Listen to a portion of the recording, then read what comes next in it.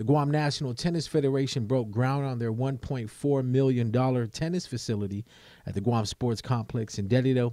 Phase one is five acres of property that will feature six courts. One court will be an exhibition court used for international play, where the GNTF can host pro players.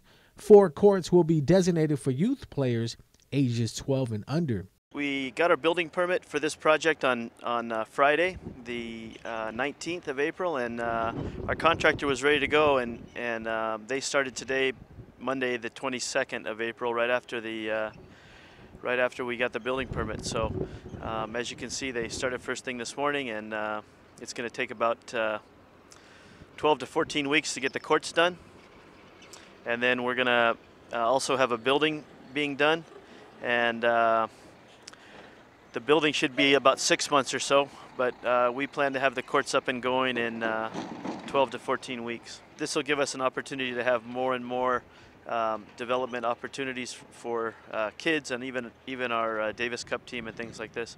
Uh, but it all starts with the youth. The facility opens doors for Guam to host more tournaments local players can participate in and clinics for the youth.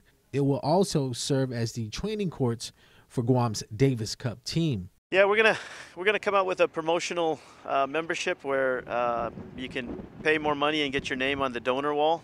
Um, that'll be up and coming soon, but uh, we're gonna start taking memberships. I think uh, when we we figure out the uh, exactly what the price will be, but we're anticipating it'll be under $400 for a year, so that's that's a really good deal. And then for juniors, it'll be $50 a year. So we, uh, we again we want to emphasize that the the junior players have have the opportunity here. You can make a donation on our website. Um, there's a place to click there for uh, Let's Ace This project. That's our theme. And you can uh, put a donation right there on the web.